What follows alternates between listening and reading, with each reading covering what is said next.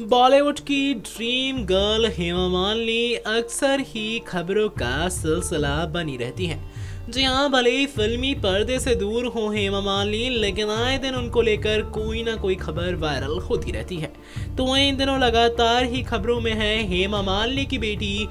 ईशा देओल। दरअसल ईशा देवल अपनी बेटी के साथ कुछ ऐसी तस्वीरें साझा करती हैं जो कि देखते के साथ ही वायरल होने लग जाती है और इस बार भी ईशा देवल की बेटी राध्या के साथ एक ऐसी खूबसूरत सी तस्वीर आई है सामने, जिसने सोशल मीडिया पर तहलका मचा दिया है। आप सभी ये तस्वीर हमारे इस रिपोर्ट में देख पा रहे होंगे, साथ ही देख रहे होंगे कि माँ बेटी की जोड़ी इस तस्वीर में कितनी प्यारी लग रही है और ये फ़ोटो है भले ही ब्लैक एंड व्हाइट, लेकिन ये फ़ोटो साफ़ बयां कर रही है कि कैसे राध्या ने ईशा की ज़िंदगी को कलरफुल बना दिया है अपने आने से।